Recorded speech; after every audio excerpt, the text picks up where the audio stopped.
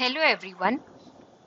In this video, we will see how the post-analysis checks, referred to using the abbreviation as PAC, are performed and how we can see the results or outcome of those checks.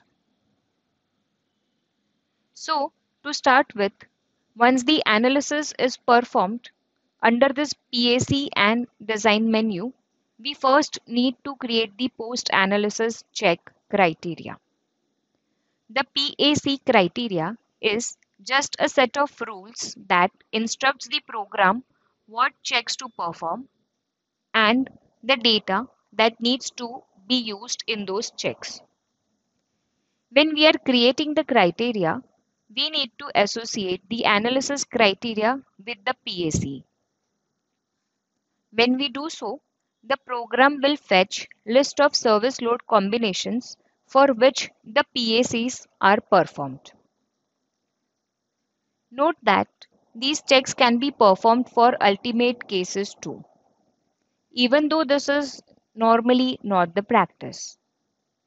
To do that, we have to click on this button here and if we want to perform the post-analysis checks for ultimate condition, we can select the check ULS option from here. If the program is instructed to do the PAC for ultimate load cases 2, then the list of ultimate load cases 2 is fetched by the program automatically from the analysis criteria assigned with the PAC criteria. Among the checks available for inclusion in the PAC criteria are the sliding check and the overturning check. By default, these checks are set true, which indicates that they should be performed. If we want to ignore these two checks, we can simply uncheck the checkboxes shown here. Also, there is an option here to include the soil passive pressure in computing the resistance of the foundation system to the destabilizing force or moment. When we select this option, the program calculates the passive force only for the mat thickness.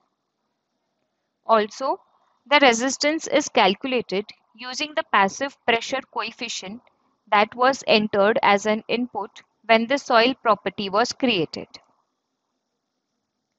The next item is to provide the value of the factor of safety, FOS for short, for each check and mention the percentage increase if we want to allow an increased value of the soil bearing capacity, either for earthquake and wind load cases.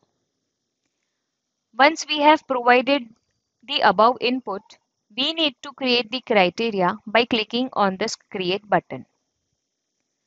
Once the criteria is created, we have the option to review the list of load combinations for which the check is performed, the type of checks that should be done for each load case, assign multipliers on the soil bearing capacity and pile capacities on a load case by load case basis. To do so, when we click on this button, show the window that we see here will appear.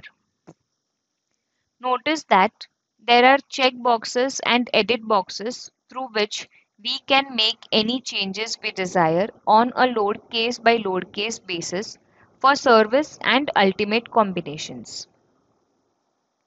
One thing we need to note is that if we are performing the check for ultimate load combinations, then the soil or pile properties also needs to have been specified for the ultimate state at the time of creating the soil or pile supports for the foundation. After all the required settings are created, we have to assign this criteria to the mat. For doing this, we have to select the mat to which we want to assign the criteria. Over here, under the post analysis, we can select criteria to be assigned. Once the PAC criteria is assigned, we can proceed to perform the PA post analysis check. provided that the mat has already been analyzed.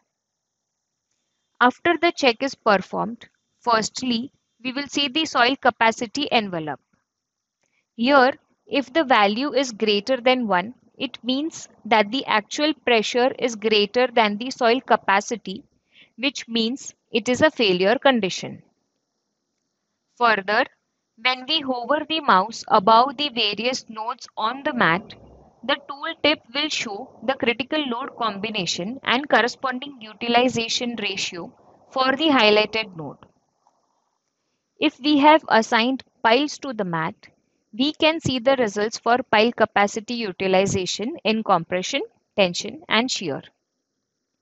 If we want to view the PAC results in the report format, we can view it from here. For the mat, select the PAC report from here. Over here, we can see the type of report we wish to generate. All the details related to the check performed will be presented here. So that brings us to a conclusion of the topic related to creating post-analysis check criteria and viewing its results. Thank you for watching.